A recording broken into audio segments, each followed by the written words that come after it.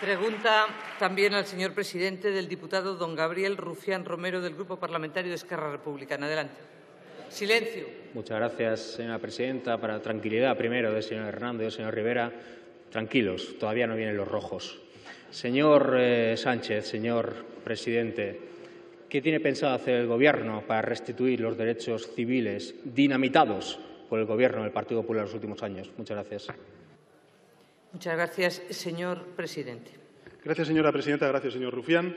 En el debate de la moción de censura lo dije y me reafirmo aquí. Este Gobierno tiene la intención de modificar eh, la ley Mordaza, de sacar eh, todos los eh, extremos que, coartan las libertades de expresión y las libertades recogidas en esa ley Mordaza aprobada por el Grupo Parlamentario Popular cuando obtenían o tenían mayoría absoluta y, en ese sentido, lo que espera este Gobierno y el Grupo Parlamentario Socialista es contar con el apoyo mayoritario de la Cámara para que, más pronto que tarde, esa ley Mordaza sea pasado y no una realidad.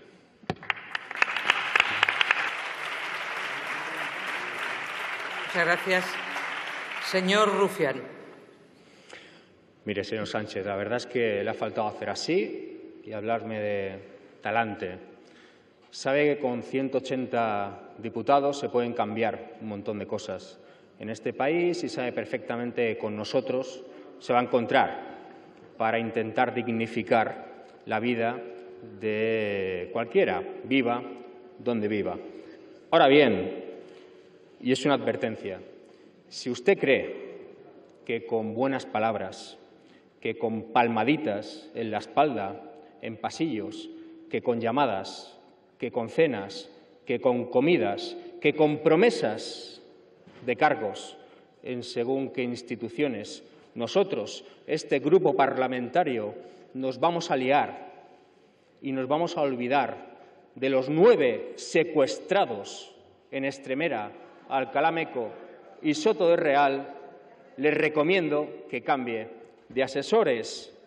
Es más, si usted, señor Sánchez, se cree que haciendo aquello del poli bueno, poli malo, en definitiva, escucharle a usted por la mañana diciendo que igual los indepes no somos tan malos, pero por la noche escuchar a sus hooligans, Batet y Borrell, hablando de enfrentamiento civil, si cree que nosotros así nos vamos a liar y nos vamos a olvidar de los nueve secuestrados en Alcalá Meco, Soto de Real y Estremera, les recomiendo que cambie de asesores. De hecho, les recomiendo, les sugiero que deje de hablar con el PSC, que le roba, que roba la alcaldía a Dolors Sabater en Badalona y que se hace selfies con Albiol en manifestaciones de sociedad civil catalana y le recomiendo que hable un poco más con nosotros. Muchas gracias.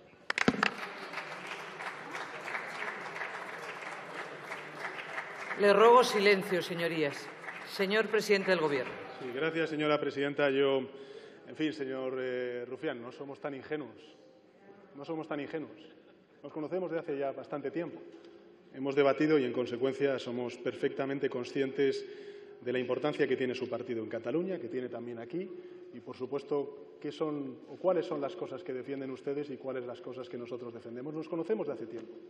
Incluso antes de que usted y yo estuviéramos en estos escaños, el Partido Socialista Obrero Español y Esquerra Republicana se conocen desde hace mucho tiempo y sabemos lo que representamos y que defendemos cada uno de nosotros. Pero es evidente, y en esa experiencia es a la que quiero apelar, ha habido momentos en los que nos hemos entendido y creo que ha sido bueno para Cataluña y para el conjunto de España. Y, y en relación con los términos y las formas de ese debate, yo lo único que le pido, señor Rufián, es que no descalifique a miembros de este Gobierno. Usted podrá criticar sus posiciones, pero desde luego descalificarlos creo que no entra en, eh, digamos, en el buen uso parlamentario. Así que le pido que retire usted esa, esa expresión. Lo que le puedo decir a usted y al, eh, al Grupo Parlamentario de Esquerra Republicana, señor, Rufián, es que las cosas han cambiado, que ustedes no tienen enfrente a un Gobierno que va a utilizar el agravio territorial para arañar ningún voto en el conjunto del país y que, en consecuencia, tendemos la mano para ese diálogo abierto, sincero y directo que se necesita entre el Gobierno de España y el Gobierno de la Generalitat, del cual ustedes forman parte. Ojalá, a partir del próximo 9 de julio, podamos emprender un camino que restañe muchas de las heridas que durante estos últimos seis años, como consecuencia de la falta de criterio y de estrategia del anterior Gobierno, pues ha causado la fractura social que existe ahora mismo en Cataluña. Por nosotros, señor Rufián, no será.